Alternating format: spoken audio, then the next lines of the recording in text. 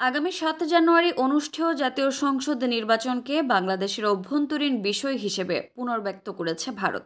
বৃহস্পতিবার নয়াদিল্লিতে ভারতের পররাষ্ট্র মন্ত্রণালয়ের নবনিযুক্ত মুখপাত্র রণধীর জাসওয়াল নিয়মিত এক সংবাদ সম্মেলনে একথা বলেন। রণধীর জাসওয়াল বলেন, বাংলাদেশের নির্বাচন তাদের অভ্যন্তরীণ বিষয়। বাংলাদেশের জনগণই তাদের ভবিষ্যৎ নির্ধারণ করবে। অন্যদিকে জাতিসংঘ বলেছে, তারা বাংলাদেশের নির্বাচন প্রক্রিয়া নিবিড়ভাবে পর্যবেক্ষণ করছে। জাতিসংঘ মহাসচিবের সহযোগী মুখপাত্র ফ্লোরেন্সিয়া সেতোনিনো গত বুধবার নিউ ইয়র্কে জাতিসংঘের সদর দপ্তরে এক ব্রিফিংয়ে সাংবাদিকদের বলেন, নির্বাচন স্বচ্ছ ও সুশৃঙ্খলভাবে অনুষ্ঠিত হবে বলে আশা করছেন তারা।